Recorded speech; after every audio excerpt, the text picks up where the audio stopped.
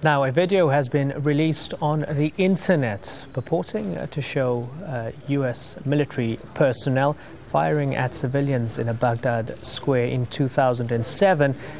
Two journalists, uh, one journalist, Reuters journalist, and his driver were killed in that attack. Um, this uh, video has just been released by the uh, online whistleblower uh, WikiLeaks. We can now speak to a member of WikiLeaks. Uh, joining us uh, from Washington is the editor of WikiLeaks.org, Julian Assange. Thank you very much for joining us. So, first of all, uh, take us through what exactly, in a, in a nutshell, what this video shows. This is a video of an Apache helicopter attack on the 12th of July 2007 in the Iraqi suburb of New Baghdad. Um, it shows a number of things. It shows an attack on a group of uh, people, two of which are Reuters journalists from Baghdad. Uh, those people are killed by 30, mm, 30 millimeter cannon fire. There seems to be some uh, initial confusion as to whether uh, some of those people are carrying weapons uh, and that the Reuters uh, photographer's camera was in fact a weapon but it proceeds from what might have been uh, an excuse for not concentrating too much to something much more serious.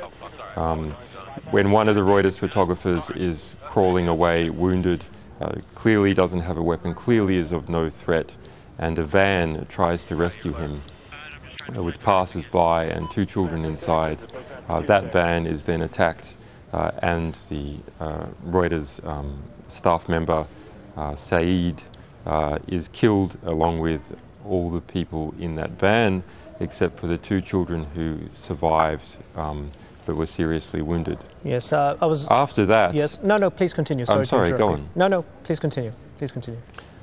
Just just 20 minutes after that serious and disturbing event, a Hellfire missile attack is conducted on a nearby house that from the, the roof appears to be under construction. Um, and that attack uh, kills another, we, the, by the military records, uh, six people, but potentially, maybe significantly more, another six. Um, the military say that uh, insurgents uh, went in that house or, or, lived in, in that house or went into the building. Um, but our people uh, have shown that, in fact, that there were three families uh, in that house, and we have the, the records uh, of some of their deaths, including right. two women um, and, and so on. Um, it is possible that um, some armed men walked into that house, but um, the um, majority of the people in that house seemed, at least the people who live right. there, seem to be regular families, and uh, we have uh, evidence uh, from the person who owned the house and uh, photographic evidence uh, of the Hellfire missiles and so okay. on.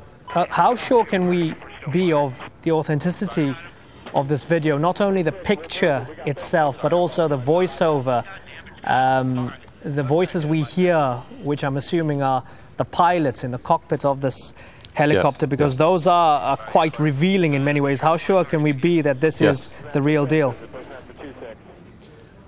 As, so, as sure as uh, one can be of anything in life. Um, the material is internally uh, totally consistent, but also there was a Washington Post reporter uh, who uh, was um, with that unit, the mili US military unit, uh, on the ground uh, on the day. And he wrote a chapter in a book which was published last year, a book called The Good Soldiers, which correlates directly to the material in that video, including uh, to the radio transcript uh, for the first half. Right. Um, that's a strong correlation. Also, Reuters uh, conducted a number of investigations and uh, interviewed two ground witnesses um, at the time. Right.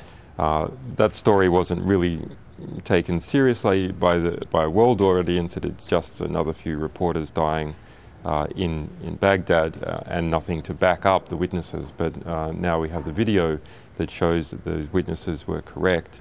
Uh, also, there was an Iraqi right. police report uh, that Reuters say uh, agrees with their witnesses, and all of them agree with the video. Sorry to interrupt you. Not, not long afterwards, um, Lieutenant Colonel Scott Bleichwehl from the U.S. military told the New York Times, quote, there's no question that coalition forces were clearly engaged in combat operations against a hostile force. You, you even uh, mentioned that quote on your, on your website and on the video itself. And of course, when Reuters requested the video from the Pentagon under the Freedom of Information Act, they didn't get it. With all of that in mind, do you firmly believe that there was a cover up at play here?